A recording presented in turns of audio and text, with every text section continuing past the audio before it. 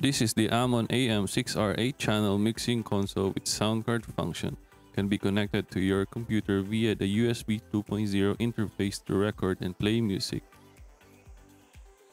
Let's connect our USB interface and power adapter.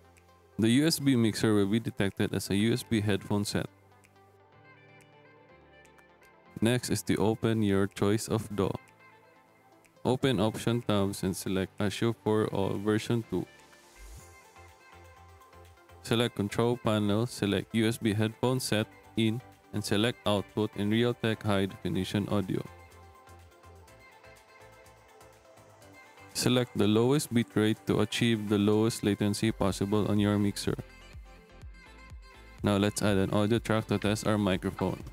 Let's plug our microphone, turn on the mixer, turn on the phantom power as my microphone requires this, and adjust your volume knobs.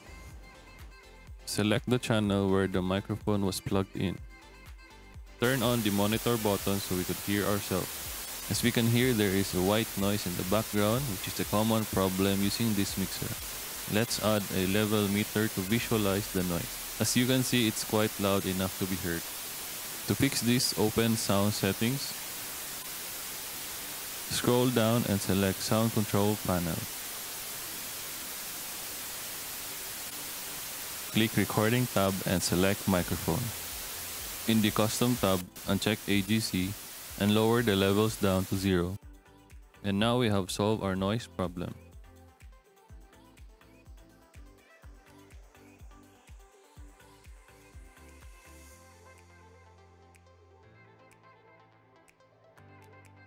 And now let's try to record our microphone.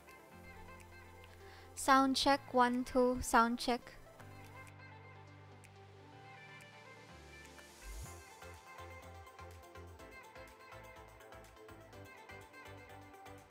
Next is to try recording our guitar.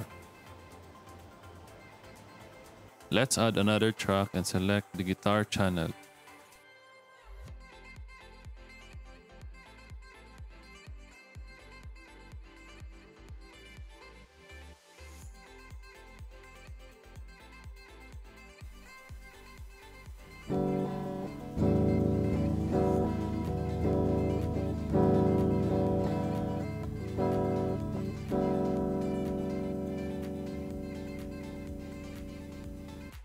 If you like this video and would want to see more of these contents, please like and subscribe to my YouTube channel.